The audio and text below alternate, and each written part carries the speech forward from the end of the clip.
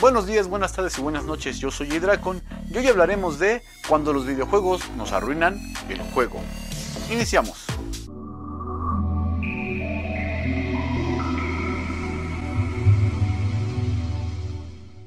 Uno de los puntos malos de la industria de los videojuegos se basa en sus precios altos y fuera de lugar.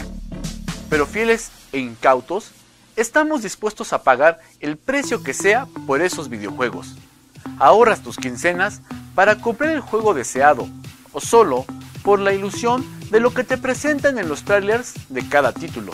Pero ¿qué sucede cuando compras un título y ese te genera un gran hype? Dispones toda tu vida y tiempo a ese juego, prendes la consola y empiezas a disfrutar de la primera misión o escenario. Pero conforme avanzas, empiezas a encontrar fallos, errores y los conocidísimos bugs que solo nos arruinan esa primera impresión que teníamos del juego, pero seguimos dándole otra oportunidad para disfrutar aquellas promesas efímeras que jamás llegaron. Sí, así es.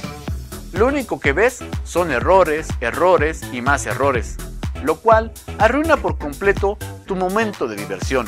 Sin embargo, hay dos posibles escenarios. En el primero, aguantas y aguantas los errores hasta que por fin terminas el juego y resignado lo dejas en el rincón del olvido, a pesar de que tengan actualizaciones o nuevos modos de juego. En el segundo escenario, y si eres un gamer de verdad, tiras el juego a la basura, porque sabes que todos esos fallos no te dejarán disfrutar el juego y te das cuenta que seguir es como una relación destructiva. Así que es mejor acabar o cortar por lo sano. Tirar o regalar ese infame título. Después de tantas decepciones y sabiendo que tu dinero vale mucho más que el tiempo invertido en ese mal juego, tu madurez y habilidad en reconocer aquel juego que ya casi no vemos, sin errores o bugs, y que se puede disfrutar de principio a fin. Sí, es una falacia. Casi todos los juegos a estas alturas tienen fallos. ¿Que preferirías ver una película de romance? Sí, de esas que le gusta ver a tu novia y que te avientas tres cuartos de la película dormido y roncando, para que al final salgas del cine agradeciendo al Todopoderoso sacarte de ese martirio.